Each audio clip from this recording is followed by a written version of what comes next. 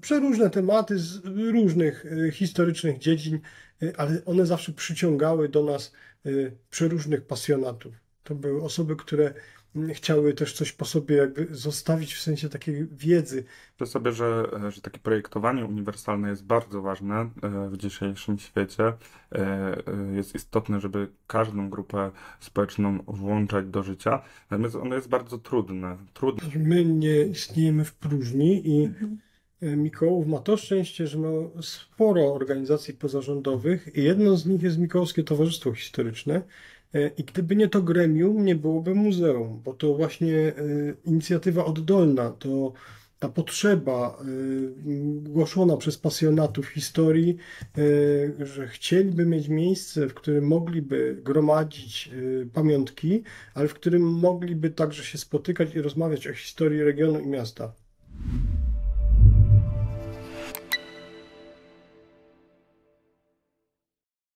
Dzień dobry, witajcie. Dzisiaj jestem na kanale lub bezpośrednio oczywiście, ale w trochę innym miejscu. Przyjechałam do Muzeum Miejskiego w Mikołowie i będę rozmawiać z Szymonem Witczakiem, pracownikiem muzeum oraz e, Wojciechem Szwiecem, e, czyli dyrektorem Muzeum Miejskiego w Mikołowie. E, wydaje mi się, że generalnie cele muzeum są dla nas takie dosyć oczywiste, bo głównie myślimy o tej funkcji kulturotwórczej, zachowania dziedzictwa e, narodowego, ale przecież, zwłaszcza chyba w muzeum lokalnym, miejskim, mm, to, to nie są jedyne cele i funkcje muzeum. Możemy mówić szerzej na pewno między innymi o y, czy to żywej współpracy ze społecznością lokalną, innymi organizacjami, albo roli edukacyjnej. Jak wygląda to w muzeum w Mikołowie? Mhm. Chcesz to odpowiedzieć, czy Proszę bardzo. Mogę, e, może ja zacznę. E, to, co jest e, na pewno wartościowe dla naszego muzeum i myślę, że dla muzeów w ogóle takich mniejszych, miejskich, jest to, że tak naprawdę mm, wartością tego muzeum jest to, że wszystkie rzeczy, większość rzeczy, które tutaj można zobaczyć, e, można obejrzeć e, tych eksponatów, to są rzeczy, które przynosili do nas e, mieszkańcy przez lata. I stąd ta mm, nasza kolekcja jest złożona i tak naprawdę bez mieszkańców, bez ich wpływu mm, tego muzeum by nie było. Czyli to, co ludzie mogą tutaj oglądać, to jest to, co gdzieś tam dostaliśmy od Mikołowian.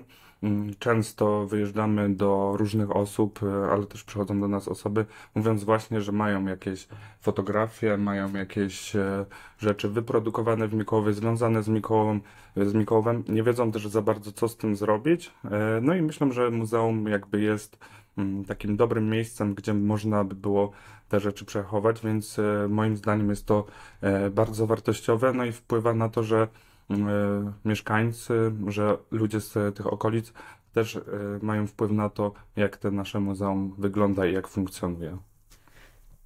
Myślę, że bardzo ważna jest też ta funkcja e, takiego kontaktu podczas spotkań. My zakładając mhm. pewien plan działania muzeum, wymyśliliśmy, żeby oprócz tego, że eksponujemy, gromadzimy, czyli ustawowo zajmujemy się tymi eksponatami, to zapraszamy też ludzi na spotkania e, na przeróżne tematy. To były zwykle rzeczy związane z naszymi wystawami e, czasowymi. I podczas tych, e, tych spotkań zapraszaliśmy eksperta, który wygłaszał wykład na przykład na temat dawnej kartografii, bądź na temat lotnictwa w czasie II wojny światowej.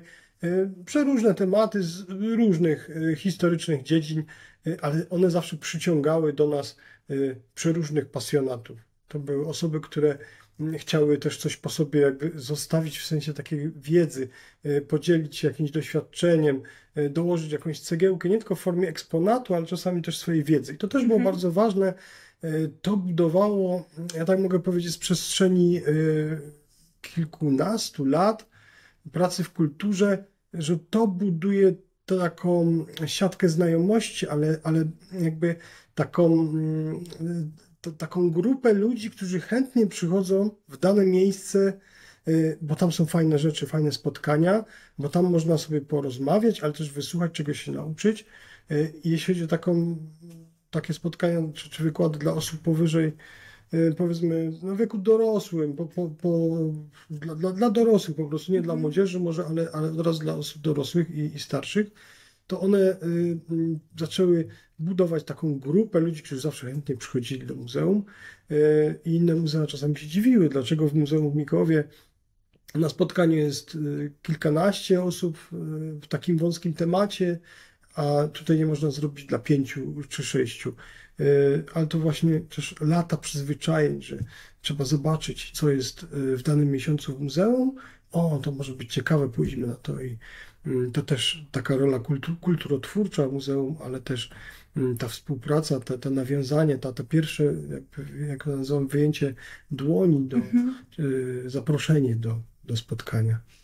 To właśnie dla mnie też jest bardzo cenne w ogóle, nie tylko w muzeach, czy mm, po prostu szerzej w instytucjach publicznych, że one wychodzą poza te swoje tradycyjnie pojmowane cele, też często te, które są po prostu zapisane tylko w ustawach czy w uchwałach, a po prostu szerzej budują już społeczeństwo, czy właśnie taką wspólnotowość, bo musimy też właśnie o tym mm, pamiętać, że te instytucje publiczne nie mają tylko jakby e, służyć tym stricte zapisanym celom w jakiejś ustawie, a tak naprawdę to są żywe organizmy tworzone przez ludzi i dla ludzi, więc tutaj ta taka rola tworzenia wspólnoty, tworzenia społeczeństwa, może nawet społeczeństwa obywatelskiego jest na pewno mm, bardzo istotna.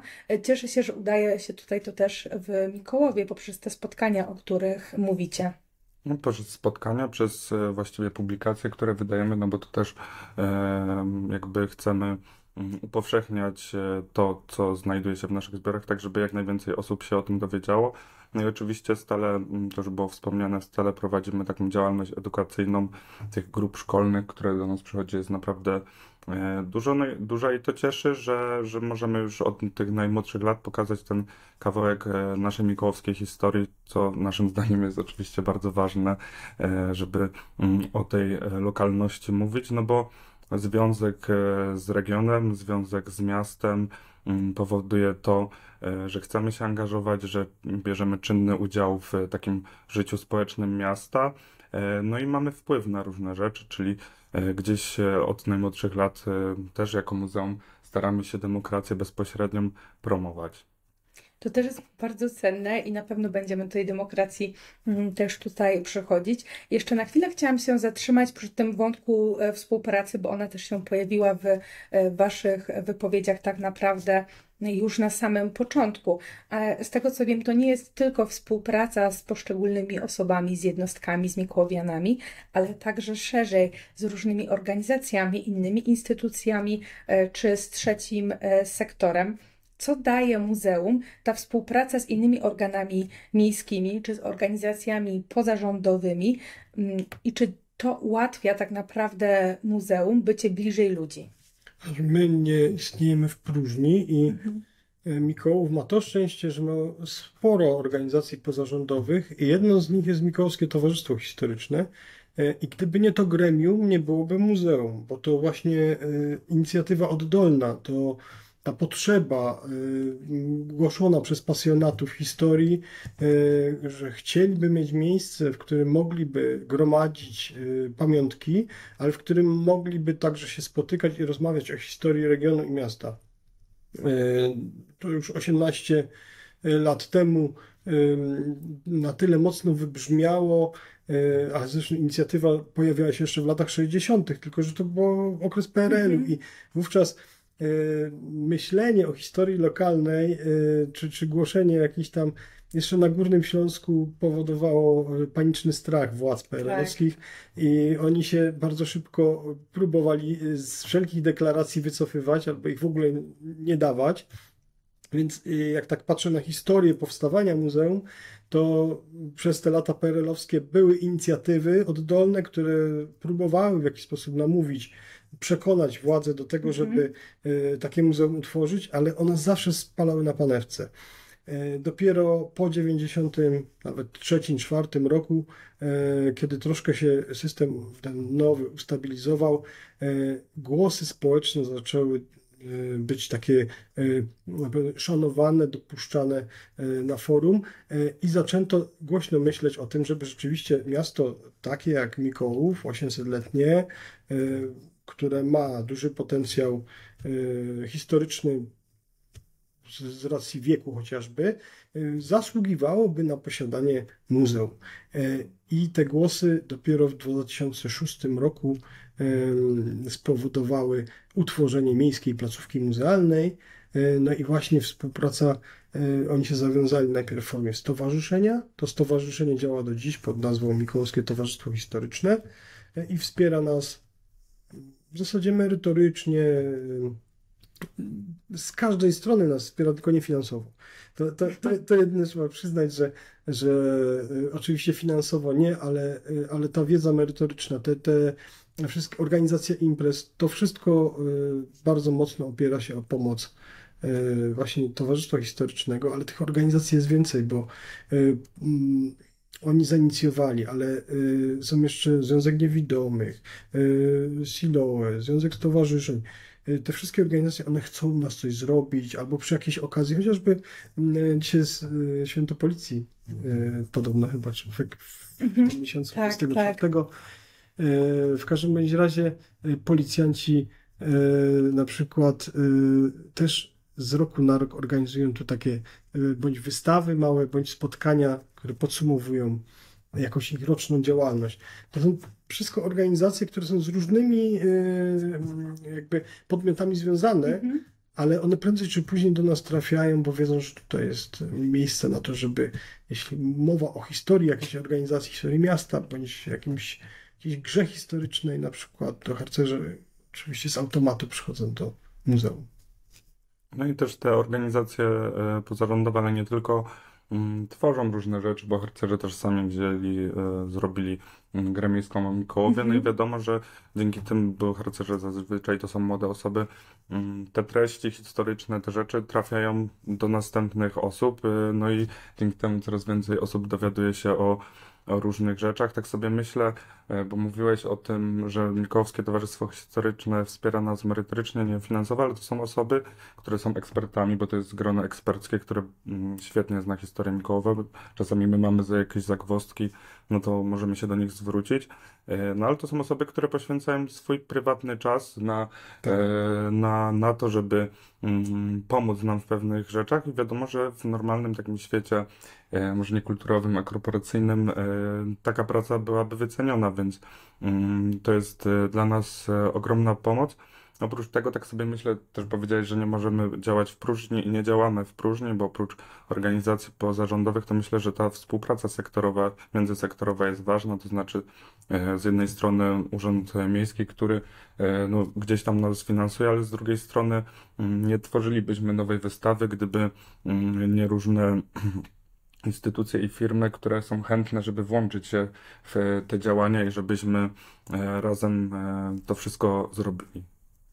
Pojawia się zatem taki wątek tak naprawdę demokratyczności i bardzo dużej jakby współpracy. E, widać, że to Muzeum Miejskie nie jest tworzone przez jednostki. Myślę, że to jest też ogromna siła właśnie wielu e, lokalnych instytucji, że one by nie miały prawa bytu tak naprawdę bez e, pomocy wielu innych mm, osób, e, bo tak naprawdę trudno jest tworzyć jakieś mniejsze instytucje publiczne, kiedy ta liczba pracowników by nie wystarczyła, żeby ją e, w pełni tak naprawdę mm, tworzyć. Spotkałam się z takim stwierdzeniem, że muzea to demokratyzujące i inkluzywne przestrzenie krytycznego dialogu o przeszłości i przyszłości. No przecież jesteśmy właśnie mm, w muzeum, więc ta przeszłość jest na pewno też tym ważnym elementem. Przecież zachowujemy też e, dziedzictwo e, narodowe, ale czy zgadzacie się z tym, że pojawia się właśnie też ten dialog o przyszłości, czy może pojawia się też dialog właśnie o tej rzeczywistości, która nas otacza i o teraźniejszości? Bardzo mocno dbamy o to, żeby zabezpieczać współczesność też e, na zasadzie tego, e, co się, jakie ważne dla nas wydarzenia, znaczące z punktu widzenia takiego, że historycznie one będą ważne za parę lat, są przez nas zbierane, dokumentowane.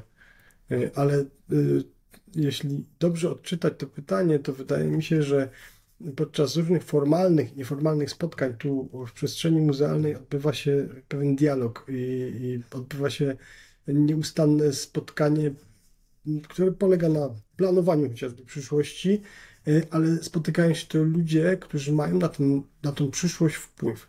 Mhm. Muzeum wpływu bezpośredniego nie ma, ale spotykają się tu ludzie, którzy są na stanowiskach y, które mm, są decyzyjnymi stanowiskami, więc oni e, nawiązując te kontakty z nami czy u nas, biorąc pod uwagę historyczność danego miejsca, z pewnością, mm, ja mam parę przykładów zresztą, z pewnością to rzutuje na przyszłość. Na przykład mamy bardzo dobry kontakt z panami i panią burmistrz, którzy bardzo często, w przeciwieństwie do niektórych ośrodków, poza Mikołowem, nasi burmistrzowie bardzo często bywają na naszych spotkaniach i imprezach. Nie pełnią tu żadnej funkcji kontrolnej, jakby się można domyślać, bo to jest zazwyczaj właśnie przychodzenie takie na luzie chęci dowiedzenia się, spotkania się i dzięki temu na przykład ktoś y, z Towarzystwa Historycznego y, wniósł o to, żeby zbadać miejsce po dawnej synagodze, y, gdzie została ona wysadzona w 1972 roku. Niewiele na ten temat wiemy, mimo tego, że czas krótki. Pan burmistrz się do tego zapalił i to nie była jedna rzecz, do której, do której można było się jakby odnieść.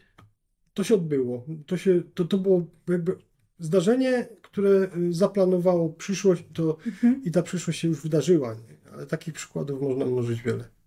No ja sobie myślę o, też o inicjatywie uchwałodawczej, którą podjęło właśnie Mikołowskie Towarzystwo Historyczne, żeby upamiętnić miejsce po e, dawnej mhm. synagodze. E, więc mieszkańcy, członkowie Mikołowskiego Towarzystwa Historycznego złożyli taką inicjatywę uchwałodawczą, zebrali podpisy. No i to się też wydarzyło. Plac 750-lecia już nie jest placem 750-lecia, tylko placem synagogi, więc to też pokazuje, że mm, no, jest jakiś wpływ na te polityki miejskie, tak? Że, że ludzie, jeżeli chcą się zebrać, to rzeczywiście potrafią na nie wpływać, a ja znowu myślałem o tym pytaniu i o dialogu i o przeszłości, przyszłości. Ja sobie zawsze myślę o tym dialogu, mm, kiedy pokazujemy jakieś zdjęcia Starego Mikołowa i widać, że ten Mikołów tam był jakiś, czyli akurat myślę o tym, że był bardziej zielony, E, no i obecnie do tego wracamy, tak? Do tego, co było. Mhm. E, no i wszyscy właśnie mówią, że no, kiedyś to było mm, więcej zielonych drzew, e, że więcej zieleni było. No i powoli na kanwie tego, co było kiedyś, my znowu mm, gdzieś tam możemy projektować tą przyszłość. Jeszcze dobrze wspomniałeś o tych osobach, które są nieznane nam. Towarzystwo Historyczne liczy prawie 20 osób. To są osoby z doktoratami i tak dalej. To są osoby wpływowe, niektóre, czasami na emeryturze, czasami nie, ale e, jest jeszcze taka masa ludzi, która ogląda nas na mediach społecznościowych, która komentuje mhm. zdjęcia, która e, też w jakiś sposób zwraca nam czasami na coś uwagę i to się potem też odbywa, mhm. E, która na przykład zagłosowała, w, bo to, to się odbywało demokratycznie. Nie można zmienić sobie nazwy placu tak po mhm. prostu dekretem to, to odbywało się za pomocą zebrania głosów Mikołowian. I to Mikołowianie zadecydowali e, na rzecz towarzy głosu Towarzystwa Historycznego, jak się ma ten plac nazywać. Że coś jest ważne. Jeszcze, jeszcze a propos tego dialogu e, z przyszłością, myślę sobie o tych naszych wyjazdach i zbieraniu wspomnień, my to robimy mhm. teraz, po to, żeby zachować wspomnienia na wieczność dla e, przyszłych pokoleń i żeby można było mm, na tym e, coś budować. Mm, widzę, że trudno jest mm, tworzyć na pewno takie muzeum czy sztukę e, apolityczną. Myślę, że wiele osób, jak myśli o sztuce czy w ogóle o kulturze, no to chciałoby, żeby to była taka przestrzeń właśnie trochę oderwana od e, polityki, tym samym też trochę oderwane od tej rzeczywistości i codzienności, bo wtedy na pewno łatwiej nam jest też e, o tą mm, rolę kultury taką czysto rozrywkową. Mm, no ale nie jest to możliwe, zwłaszcza jeśli się tworzy instytucję tak bardzo żywo połączoną e, nie tylko z samorządem, ale też po prostu e, z mieszkańcami. Tutaj na przykład ta inicjatywa uchwałodawcza, no to, to też są działania polityczne, które dotyczą historii i w jakiś sposób celów Mikołowian, celów też Muzeum Miejskiego w Mikołowie. Czy w ogóle jest możliwe jakby tworzenie mm, takiego muzeum sztuki, e, kultury, w takim oderwaniu właśnie od tej polityczności, od dyskursu publicznego? E, czy nie jest właśnie takie życie w próżni, o czym też tutaj e, Wojtku trochę już na samym początku mm, mówiłeś, czy właśnie ta instytucja publiczna zawsze się będzie mocno wpisywała w taki dyskurs społeczny? Trudno powiedzieć, bo my nie podlegamy y, naciskom politycznym żadnym w tej chwili.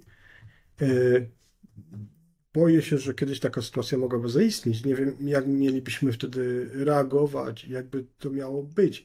Bo rzeczywiście sam postuluję taką wolność y, instytucji kultury mhm. od jakiejkolwiek opcji czy jakiegokolwiek dyskursu politycznego, bo to się raczej nigdy dobrze nie kończy.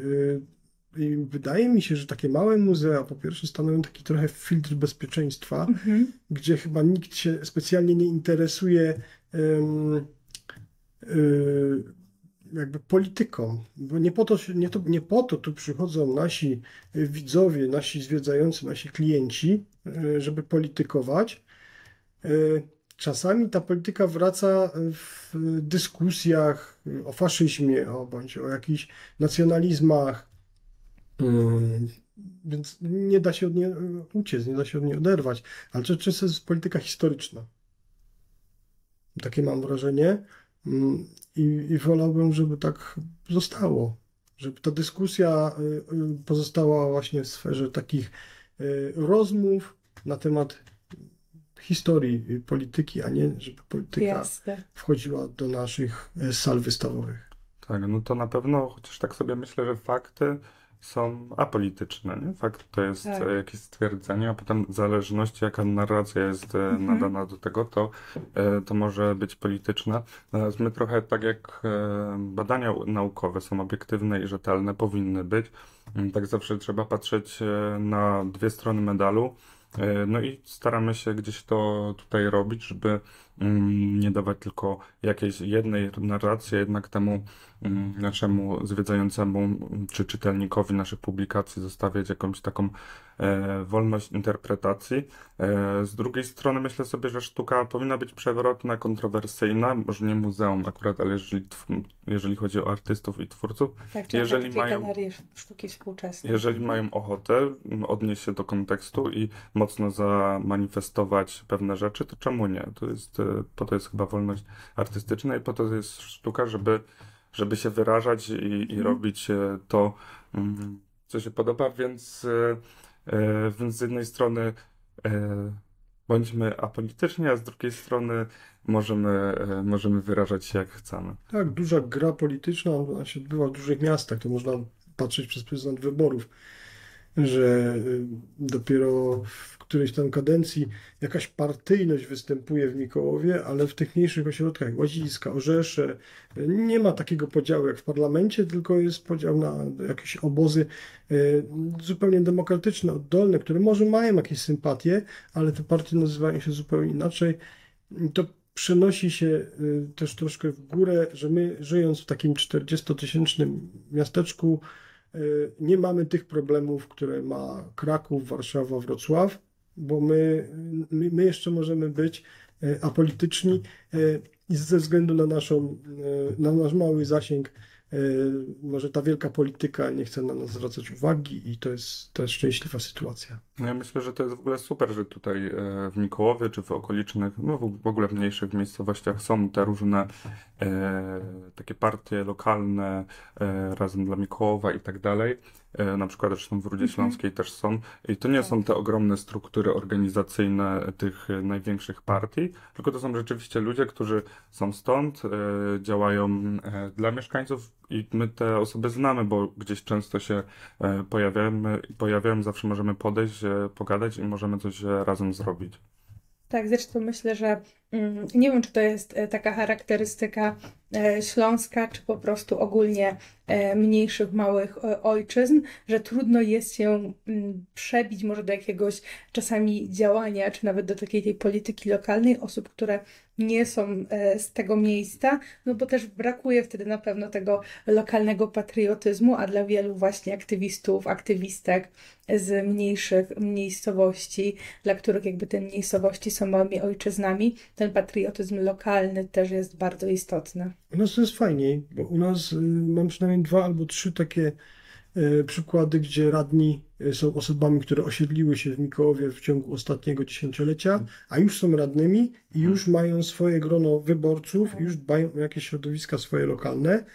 No, chociażby No taka, rzeczywiście robią to aktywnie. No? No. tak, też współpracująca z nami Orety Team, to są rowerzyści, którzy organizują takie, mm, takie, takie zwołują się po prostu na wyprawę rowerową, jadą w sobotę albo niedzielę na taką wyprawę rowerową i czasami e, pretekstem do tej wyprawy rowerowej e, raz na jakiś czas jest nasze muzeum. To znaczy przyjeżdżają bądź zaczynają u nas e, i zabierają tą swoją grupę na jakąś wystawę. Ale tych działań oni tam mają bardzo dużo i, i, i to są osoby, które nie są rodowe, rodowitymi Mikołowianami. Też bardzo mm, wartościowe. W tej całej naszej rozmowie przejawia się bardzo, bardzo e, dużo osób, więc e, chciałabym też zapytać o taką kwestię dostępności. No bo na pewno e, łatwiej jest też współpracować z dużym gronem osób, jeśli dana instytucja jest dostępna. Zresztą instytucje publiczne powinny być dostępne e, i cyfrowo, i infrastrukturalnie, co też nam reguluje prawo. Jak tworzyć właśnie takie dostępne muzeum, żeby potem osoby, które chcą tutaj przyjść, chętnie właśnie partycypowały w takim codziennym też życiu e, kulturalnym, w takiej party, partycypowały na co dzień w tej instytucji e, publicznej i tu powracały. Myślę sobie, że, że takie projektowanie uniwersalne jest bardzo ważne e, w dzisiejszym świecie.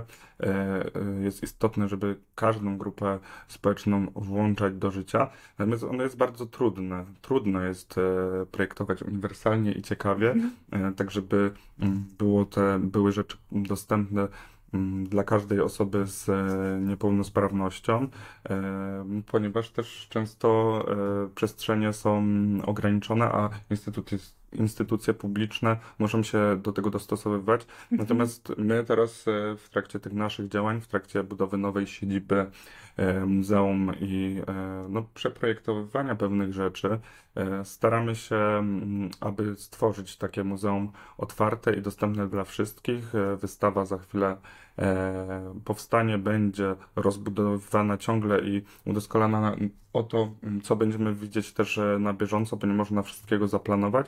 A z drugiej strony, no też będziemy przenosić swoje treści do tego wirtualnego świata, tak aby mm, każda osoba mogła e, mieć taki swobodny dostęp do, e, do tych e, naszych zbiorów. No, to już chodzi o różne środowiska, tak cały czas wokół tego krążymy, krąży nasza rozmowa. To my też mm, staramy się nie odmawiać nikomu, kto chciałby u nas coś zrobić, jakiś swój pomysł zrealizować. Jeśli nie możemy tego zrobić we wnętrzu z jakichś przyczyn, bo, bo kalendarz y, jest oczywiście zamknięty, przeliczony, y, to, to staramy się to zrobić na przykład na dworze, y, w, w przestrzeniach otwartych. W zeszłym roku zrobiliśmy wystawę plenerową, do której dostęp miał każdy bez względu na stopień niepełnosprawności, czy, czy nie, nawet rowerzysta mógł podjechać i sobie z, z poziomu roweru oglądać te, te wystawy. A z drugiej strony to, że rzeczywiście nie odmawiamy. Jeśli ktoś chce u nas zrobić spotkanie, to spotkanie nie wymaga przearanżowywania wnętrz. Wystarczy dać temu komuś czas, y, o który prosi i sprzęt, o który prosi. Zwykle chodzi o projektor i, i jakieś Mhm. nagłośnienie i, i już można działać. W tej chwili planujemy mm, zlot samochodowy. Mm, robimy to po raz drugi w zasadzie, ale chcemy, żeby pasjonaci motoryzacji z powiatu mikołowskiego i okolic e, spotkali się u nas pod muzeum. I to jest taka, e, taka zachęta, bo chcemy, żeby e, te osoby, które przyjdą i będą oglądały te stare samochody, zajrzały też na górę i przy okazji poznały trochę historii Mikołowa. Widzę, że to się tak właśnie wszystko cały czas przeplata e, i łączy. Czy zatem da się poprzez też muzeum i wasze takie codzienne działania budować społeczeństwo demokratyczne? Myślę, że tak, no, ze względu w ogóle na to, że jesteśmy otwarci, e, otwarci na różnorodność, która gdzieś tam e, buduje mm, i rozwija e, nasze muzeum, nasze miasto, no to na tych przykładach, o których wcześniej wspominaliśmy, można widzieć, że od tego muzeum jakby tworzą się pewne zmiany i ludzie mają wpływ na, na to, co dzieje się w tym naszym mieście. To myślę, że to jest te clue e, tego, mm, takiej, e, tego bezpośredniego mhm. wpływu na polityki, czyli mm, jeżeli ktoś chce e, i zaczyna się to w muzeum, to rzeczywiście mm, to się staje potem prawdziwym życiem. Tak mi się wydaje, tak bym odpowiedział. Myślę, że nie pozostaje nic innego, tylko się zgodzić z tym, że to właśnie kwestia Mm, chyba pozostaje w dobrej woli i w takim, takiej chęci y, współpracy i, i niechęci do zamykania się przed kimkolwiek w jakiejkolwiek sytuacji. Tak, no i myślę, że też czasami osoby do nas e, przychodzą do muzeum, e, zwiedzą wystawę i mają taki, taką zajawkę, nie? Mhm. I coś, coś w nich przeskoczy i myślę, a może byśmy zrobili coś innego, albo taką wystawę, a może byśmy mm, e, spróbowali e, czegoś innego, no i jakby tu się to zapala, a potem mm, gdzieś się to spełnia, nie? Już powstają tacy akty, aktywiści, którzy rzeczywiście ch chcą działać. To jest świetne, dlatego że każda inicjatywa niemalże, a już wystawa na pewno, y, kiedy robiliśmy o kolei, to nagle y, z kolejarze z Rud, którzy mają mhm. swoje muzeum, odezwali się do nas. Myśmy im przekazali kilka eksponatów, które dotyczyły się ich działalności i nawiązała się taka współpraca, o której wcześniej w ogóle nie planowaliśmy, nie myśleliśmy, że się, że się to wydarzy. Podobnie było z wystawami jakichś starych map. No, ale najlepsze jest to, że kiedy tylko planujemy wystawę, to trwa z pół roku, robimy ją, drukujemy, otwarcie, wernisaż i już mamy zamykać. Przychodzi nagle ktoś i mówi, ale ja wam przyniosę coś na ten temat, mam rewelacyjne i przynosi coś, co skosiłoby całą tą wystawę, ale ten eksponat u nas zostaje. I to zasiane jest ziarno, mimo że wystawa się odbyła, to materiał po tej wystawie, który zgromadzimy z naszej wiedzy, doświadczenia, ale też z tego, co nam osoby przyniosą bądź, bądź opowiedzą, to jest y, jakby wkład bezcenny w kolejne działania. Bardzo dużo rozmawiamy tak naprawdę o tej teraźniejszości, no ale myślę, że w muzeum nie da się uciec od tej przeszłości. E, też widać to, bo sami jesteśmy teraz w e, jednej z takich przestrzeni, czyli w e, Śląskiej Izbie. Tak jak też już zostało tutaj powiedziane, Mikołów ma 800-letnią historię, jest starym miastem, więc tak naprawdę też Mikołowianie mogli być przez te wieki świadkami różnych przemian historycznych i budowania się i tworzenia demokratycznego społeczeństwa e, w Polsce. Jak właśnie mm, Mikołów przez te wieki mógł być świadkiem tworzenia się e, demokracji, demokracji bezpośredniej, jak to wyglądało tutaj? No to trzeba dokładnych analiz historycznych e, dokonać, dlatego że, że Mikołów bardzo długo w Polsce nie był i tak naprawdę y, w Polsce jest od y, ponad 100 lat, bo ta część Górnego Śląska została włączona w 1922 roku dopiero do Polski. W plebiscycie Mikołów także opowiedział się za tą niemieckością tych ziem. Mhm sądząc po nazwiskach, y, na przykład w, tak cofając się w XVIII-XIX wieku, to była społeczność, która mówiła prawdopodobnie językiem śląskim, y, urzędowo posługiwała się bądź wcześniej łaciną, bądź później językiem niemieckim, ewentualnie czeskim.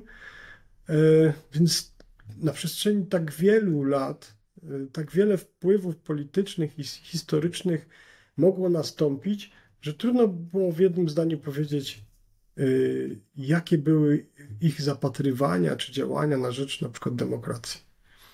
Można powiedzieć na przykład o tych y, związkach powstańczych, co się mhm. działo te ponad 100 lat temu, kiedy wybuchła ta cała burza powojenna, y, kiedy to powstało państwo polskie jak, on, jak to się odbywało w Mikołowie. Y, można mówić na przykład o roku 89, kiedy już mamy Mikołów, tak mniej więcej jak znamy teraz, kiedy istnieją, istnieją wszystkie zakłady przemysłowe y, i na tych zakładach przemysłowych, przemysłowych następują strajki. Mm, mamy w Mikołowie y, grup jednego z dziewięciu zastrzelonych w kopalni wujek górników to nie pozostaje bez wpływu, mhm. dlatego że tam się udają wycieczki. E, tam często, e, jeśli mówimy o demokracji i mówimy o tym, co się wydarzyło w tym czasie, e, w latach 80. i 90. z Polską i jak się zrodziło do, do Joachima Gnidy, który jest urodzonym Mikołowianinem, wracamy. Do takich przykładów. Ja sobie jeszcze myślę tutaj o powstaniach, które na pewno też były e, związane, powstaniach śląskich i plebiscycie, które były gdzieś tam e, związane z demokracją, e, ale co chyba najważniejsze nie tylko dla Mikołowa, ale dla wszystkich śląskich miast, to co Wojtek wspomniał, że ludzie tutaj mówili w języku śląskim, byli związani ze Śląskiem, I ta nie do końca ta narodowość była najważniejsza, mm -hmm. to znaczy ważna była narodowość śląska dla nich, a nie do tak. końca państwo, do których e, przynależeli. Czyli oni sobie działali tutaj wszyscy, e, byli związani z regionem, no a tak naprawdę e, ta na, ma, nasza mała ojczyzna e, powinna być e, dla nas e, najważniejsza i tutaj najwięcej rzeczy robimy i mamy największy wpływ na to. I to jest też podstawa działania naszego muzeum. My y, rzadko patrzymy na y, jakby polskość jako taką albo niemieckość jako taką. My musimy się skupiać, żeby być, mówić o prawdzie, to mhm.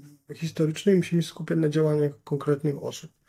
I ten ktoś może mieć imię i nazwisko niemieckie, a y, działać na przykład lekarz Otto Moll, który działał na rzecz osób zakażonych cholerą, w, w tych wielkich XIX-wiecznych e, epidemiach e, i nie dzielił wtedy ludzi na Niemców, Polaków.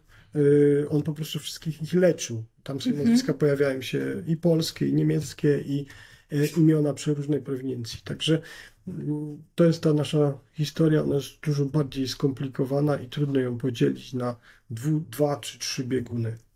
Na pewno, bo Śląsk historycznie jest bardzo wielokulturowym, wielonarodowym miejscem, ale to, co na pewno też łączy Ślązaków, to właśnie ta śląskość, no, która też tak naprawdę cały czas teraz wychodzi, bo nawet jak zerkniemy do tych częściowych wyników ze spisu e, powszechnego, który był mm, jakiś e, czas temu, no to tam sporo tych osób zaznaczyło śląską tożsamość, że się właśnie czują ślązakami, ślązaczkami, mm, pomimo tego, że to nie była jedna z tych takich opcji domyślnych, tylko trzeba było wpisać właśnie jako ta etniczność, narodowość inna i potem e, dopisać, więc nie da się myślę, że w dyskusjach o e, czymkolwiek na Śląsku uniknąć właśnie tematu tej śląskiej tożsamości, nawet jeśli myślę, że jak myślimy o jakiejś instytucji publicznej czy muzeum, no to nie myślimy właśnie często e, w kategoriach właśnie powiązania tego aż tak bardzo może z lokalnością, a tutaj nawet jak myślimy o powiązaniu z lokalnością, to nie da się uciec z tego tematu śląskiej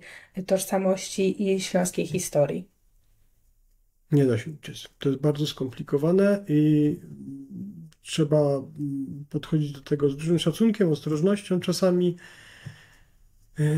ale bardzo potrzebne też. Ale my mamy dużo szczęścia w Mikołowie, bo yy, jak wcześniej rozmawialiśmy o tej, o tej takich przykład yy, różnych narodów, bo mieliśmy wystawę o Janinie Bem, która była Żydówką, mówiącą wyłącznie po niemiecku, mm-hmm. bo ta społeczność żydowska mikołowska była społecznością niemiecką.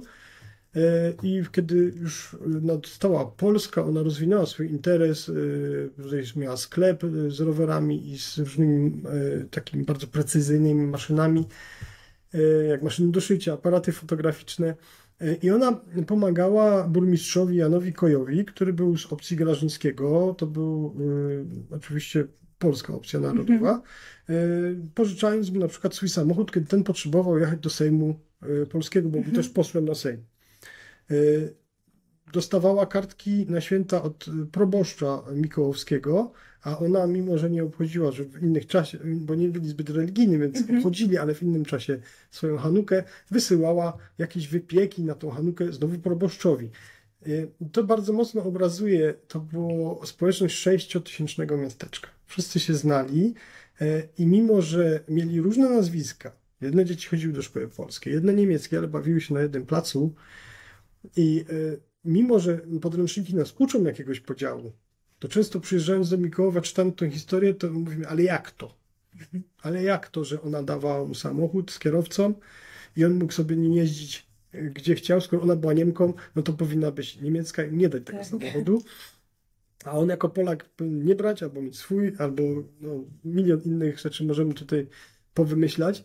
Y, I jakby w tej naszej społeczności mało było takich antagonizmów, też jednak była w jakiś sposób hermetyczna i zgrana. No, mimo tego, że te napięcia polityczne próbowały y, Mikołowian wybić z rytmu, wybić z tego, nastawić przeciwko Mhm. sobie, to takich aktów wielu nie ma. Na przykład w powstaniach y, oczywiście była grupa 100 osób, która poszła porzucać kamieniami, ale po jednym dniu to, to się skończyło i pierwsze powstanie skończyło się tak samo szybko, jak się zaczęło. Y, Z kolei te kilkanaście osób, które chciało walczyć, które uznawały, że militarny udział jest potrzebny, y, pojechały na Górę Świętej Anny i tam walczyły, ale pozostała część Mikołowa pozostała po prostu w jakiś sposób y, zaangażowana w własne sprawy, przynajmniej w tym pierwszym powstaniu nie angażowała się tak mocno. A, bo to jednak była wojna taka bratobójcza troszkę, nie? To Tak. sąsiad z sąsiadem, z którym dotychczas y, mogłem ym, współżyć, y, dzielić jedną przestrzeń, jedno miasto, nawet jeden kościół, być może jeden rynek, jeden sklep, y, nagle stawał się wrogiem. Okropne. Mam coś dopowiedzieć jeszcze? No to ja powrócę tylko no, uzupełniając, bo Wojtek już dużo opowiedział, że mm, do tego, co było wcześniej powiedziane, czyli że ta śląskość i przynależność do tego regionu e, to było dla tych ludzi tutaj na, Mhm. najważniejsze, a nie do końca ta narodowość i ten podział, który e, często jest tak e, wpajany już w czasach szkolnych, Mm, a może on jest wcale niepotrzebny. Tak, myślę, że właśnie to, że jednak Śląsk gdzieś był tą wspólnotą bardzo różnorodną też w swojej historii, na pewno teraz się przekłada na jakąś e, łatwość tworzenia właśnie tego muzeum, no i na tą teraźniejszość, no i pewnie też przyszłość właśnie budowania takiego społeczeństwa mm, i wspólnoty poprzez właśnie instytucje. Dziękuję Wam bardzo mm, za rozmowę. No i tutaj poruszenie wielu tak naprawdę różnorodnych wątków, y, czy to dotyczących Muzeum Demokracji, czy mm, e, Śląska i Mikołowa. E, Z tej strony Agata Kępa. Dzisiaj na kanale gościłam pracowników Muzeum w Mikołowie, Szymon Witczak i Wojciech Szwiec. Bardzo mi było e, miło właśnie z Wami rozmawiać. Dziękujemy za odwiedziny. Zapraszamy ponownie. Tak. Dziękujemy ślicznie. No i też zapraszam Was nie tylko w takim razie dzisiaj na kanał, ale także do Muzeum w Mikołowie. Nie tylko na wystawę stałą czy czasową, ale też właśnie na te codzienne działania i spotkania. Zapraszamy.